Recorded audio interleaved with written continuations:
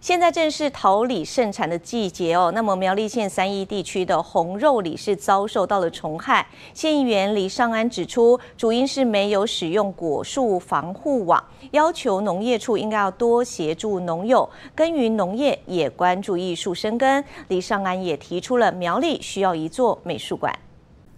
苗栗县是农业大县，为农友争取权益。县议员李尚安接获反映，三义地区的红肉李遭受虫害，原本有申请果树防护网，却没有获得通过，让虫虫有机可乘。请教我们处长哈，针对这个果树防护网这么好的好消息，到底它的申请的时间点哈是什么时候开始？还有就是。是否有提高补助的比例？还有每公顷是补助最高的金额是多少？麻烦你回答一下，谢谢。啊，跟议员来做报告哈。我们前线的桃李有六百零五了，那三亿的话大概二十九公顷，那大五有一百四十六，太阳有两百多了。所以啊，县政府如果要来补这个部分，经费会过于庞大哦。所以在整个农粮署的补助，它以前是三点三万了哈。那经过议员的，我们马上有跟他反映了，那公文也上去，以前只有琵琶跟这个联路嘛。那我们他现在会把这个案件放。进来，耕耘农业，照顾农友，也关注艺术生根。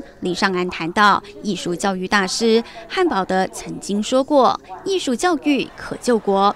而生根的第一步，他认为需挹注更多的美术教学资源。艺术与美感教育生根计划，哈，总共有三十九所学校，然后每一所学校的经费补助是八到九万，然后总经费的金额是四百万左右，哈，那就有呃家长跟我反映，因为现在通货膨胀，然后美术教材跟耗材的成本，哈，也相对的提高，所以呃像学校办这类的课程呢，都捉捉襟见肘，包含钟点费一些呃。耗材的部分其实都要按照部里的标准哦来补助给学校跟来进行核销。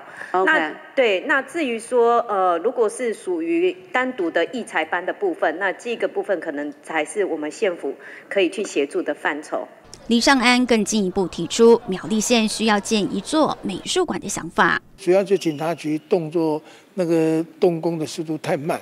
那如果警察局赶快迁走，我们就有土地。那可能我们要等下一波。